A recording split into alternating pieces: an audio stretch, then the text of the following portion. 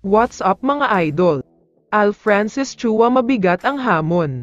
Giapath Aguilar sobrang bad news. Pero bago mo sana ipagpatuloy ang panonood mo, ay huwag mong kalimutan na mag-subscribe bilang suporta sa aking YouTube channel. Maraming salamat idol. Mamayang 5.45 ng hapon, gaganapin na ang isa sa pinakahinihintay ng lahat ng mga fans. Halos isang linggo din hinintay ang laban na ito, matapos ang New Year's break ng PBA, medyo mahabang oras na ensayo ang binigay para sa parehong team. Para sa mga hindi nakakaalam, wala nang available na mga tickets kahit saang ticket outlet, dahil nag-announce na ang mga source na fully sold out na daw talaga ang mga ito. Grabe talaga dahil every game ay nauubos ang mga tickets. Samantala, ayon naman sa mga source, may mabigat na hamon daw si Boss Al Francis Chua sa Hinebra, ito nga ay ang makapag-champion, at talunin ang Bay Area sa serye nila ngayong finals. Kapag nangyari nga daw ito, malaking bonus ang naghihintay sa kanila, malaking bonus hindi lang sa mga players, kundi pati na rin sa mga coaching staff at mga utility ng Hinebra, as in lahat daw ay makakakuha ng napakalaking bonus. Kaya naman napakalaking motivation ito para sa Hinebra, na talunin ang Bay Area hindi lang sa Game 3, kundi sa buong final series talaga. Sobrang galante magbigay ng bonus ang Sanmig Corporation, kaya dapat lang na maging motivated sila.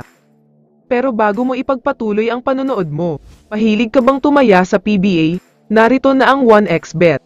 Mag-register gamit ang link sa aking comment section. I-type ang aking promo code. Sa unang deposit ay makakakuha ka ng up to 7,000 pesos na bonus.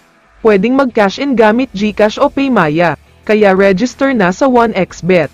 Samantala, lumipat naman tayo sa usapan tungkol kay Japeth Aguilar, sinabi mismo ng tatay niya na si Peter Aguilar, na hindi daw 100% healthy ang anak niya na si Japeth.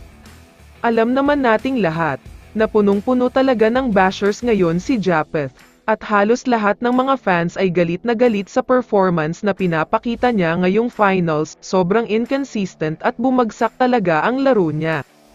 Pero may mabigat na dahilan naman pala ito, dahil nga hindi siya 100% healthy, at may iniinda pala itong karamdaman, sobrang bigat ito para sa Hinebra, dahil isa pa naman sana siya sa mga X-Factor sa serye na ito.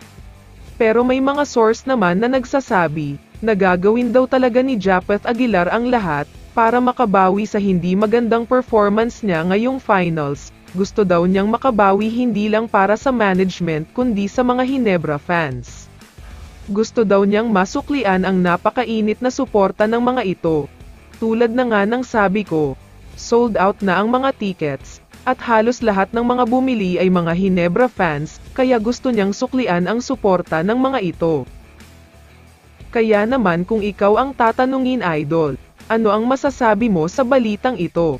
I-comment mo naman ang sagot mo sa tanong na ito. So dito na nagtatapos ang video na ito. Maraming salamat sa pagsuporta at panonood mga idol. Ingat at bye-bye.